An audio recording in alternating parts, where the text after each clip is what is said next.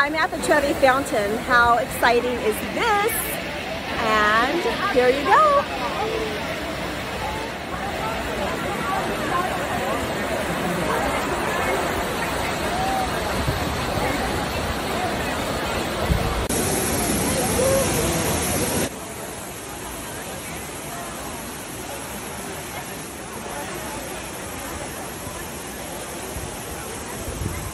There are so many people, but you know what? It's so beautiful, it's worth it. Have a great day.